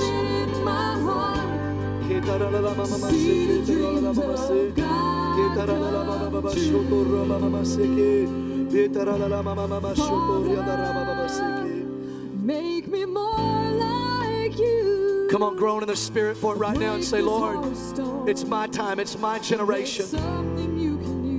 Where is the church in my generation? Where is the church in my generation? Those of you in the back that couldn't make it to the front, just cry out to the Lord. Those in the aisles, cry out to the Lord and say, God, I'm giving you all of my failures. Those of you in your seats, stretch your hands toward them and pray right now that they're going to get off of this floor different. They're going to get off of this floor different. They're going to get off of this floor different. They're going to get off this floor different. To see the bride you and the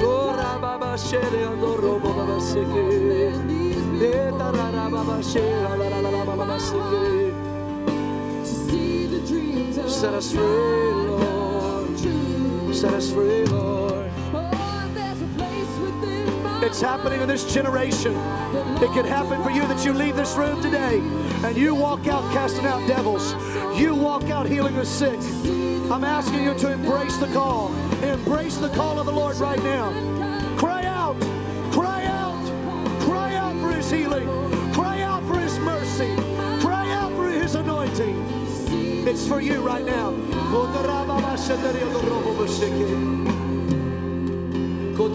Don't stop, don't stop. Cry out for it right now. That little voice that tells you that you're spending up time is not the voice of the Lord, it's the voice of the enemy. Trying once again to silence your voice.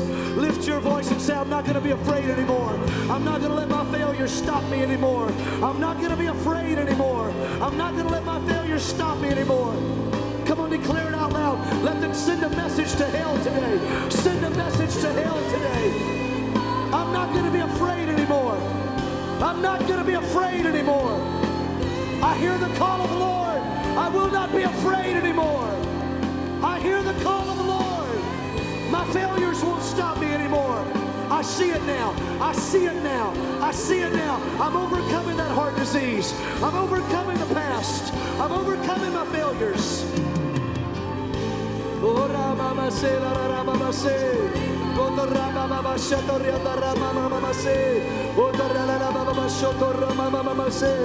Oh. Oh. Oh, se. Where's the church? Where is the church? Where is the church? Where is the church? Where is the church to stop the next murderer? Where is the church to stop the next drug addict? Where is the church to stop the next child abuser? Where is the church to stop the next alcoholic? Where is the church? Where is the power? Reach up and grab it today. Reach up and grab it today. Cry out for it from your seats.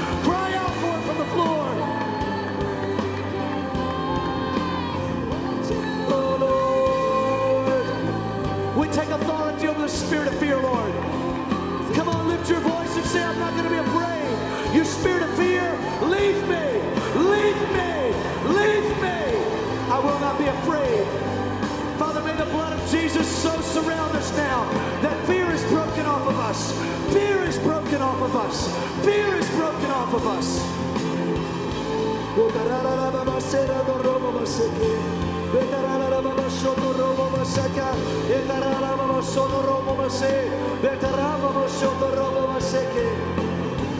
Come on, those of you in your seats, don't just sit and watch. Everybody in this room, reach up and embrace faith in God today. Faith in God today. That when you go back to your city, this time, it's not just going to be hearing about it. You're going to go and cast the devils out. You're going to lay hands on them until they get healed. You're going to prophesy to the mountain until it moves. You're going to speak the word of God to those around you. Where is the church? Where is the church to stop the next murderer? Where is the church to stop the next alcoholic and drug addict? Where is the church to stop the next bulimic or anorexic? Where is the church to stop that one that is so suicidal they want to blow their brains out?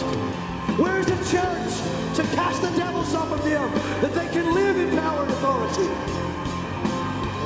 Come on, throw your failures down. Throw your failures down and say, I will not be afraid. I will not be afraid. My life is not behind me. It is in front of me. Oh Lord, oh Lord, oh Lord, oh Lord, today. Father, come in this conference right now and pull failures off of us. Pull the chains of yesterday's failures off of us. And today let us rise up in the anointing of God his hands, I will be his feet, I will be his voice, and I'll give him a chance to do a miracle. God, I'll do. Come on, lift your hands and say, God, I'll give you a chance. I'll give you a chance.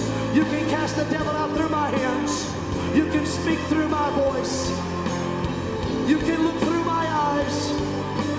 I won't let yesterday stop me anymore. I'm rising up. Come on, cry out for it right now. Lift your voice and say, I know it's my time. Oh God, raise up the John the Baptist in this room. Raise up the John the Baptist.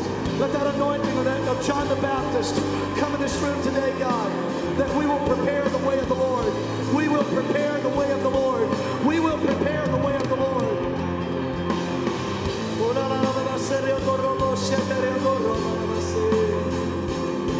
Let him wound you deeply. Let him wound you deeply. Let him wound you deeply. Let him wound you deeply.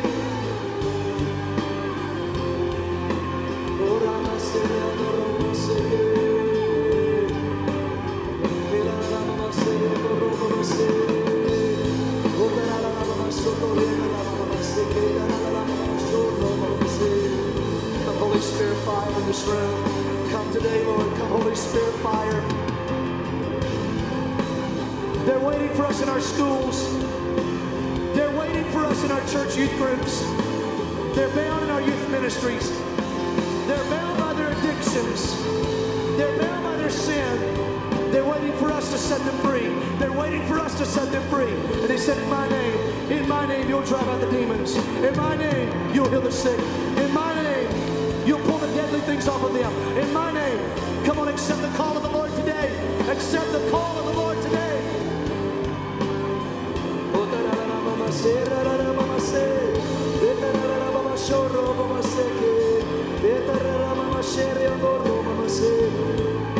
If they beat us up, Lord, you'll heal us. If they kill us, Lord,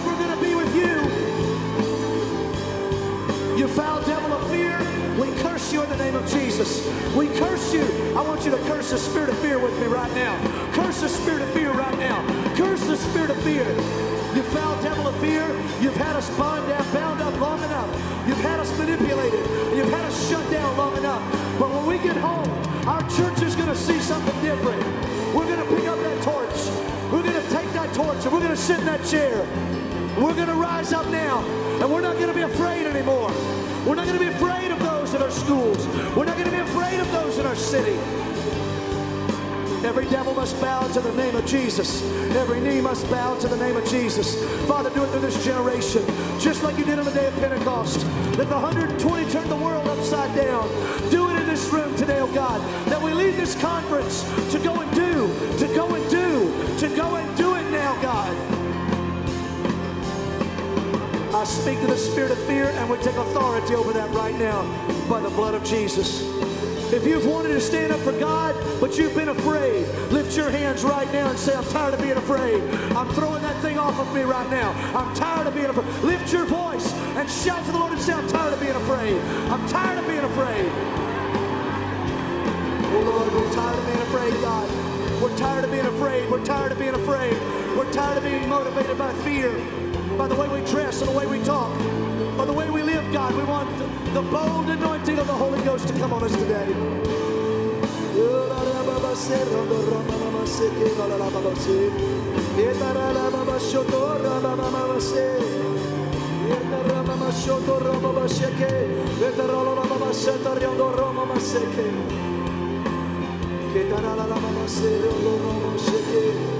Throw it off today. Throw it off today. Throw it off today.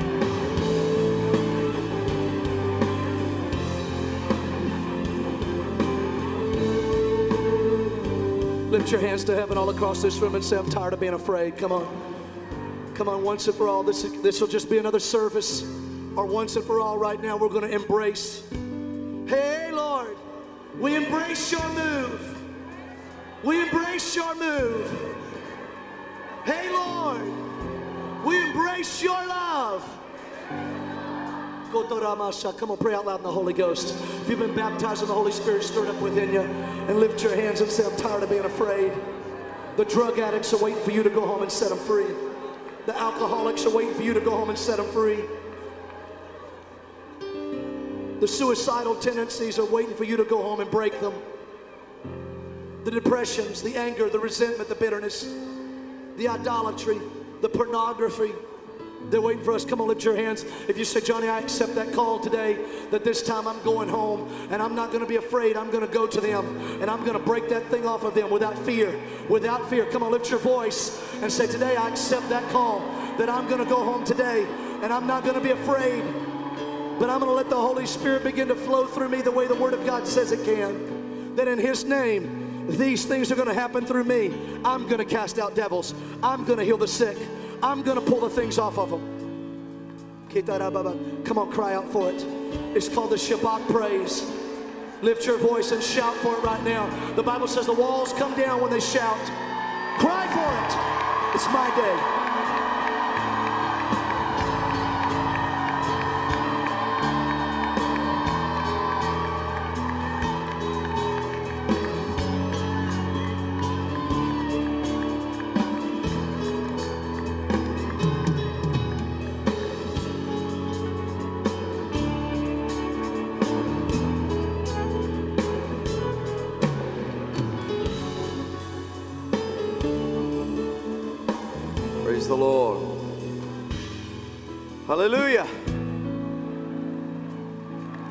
Jesus.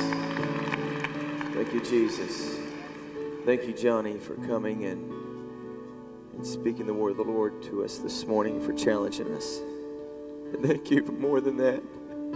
Thank you for living the life for us and showing us the way.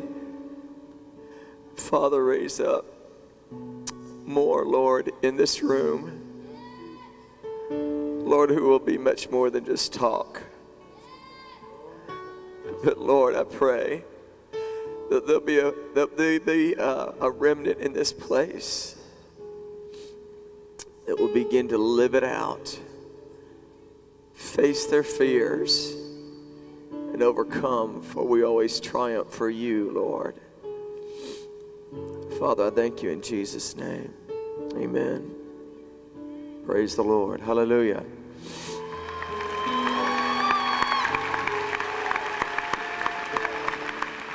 Amen.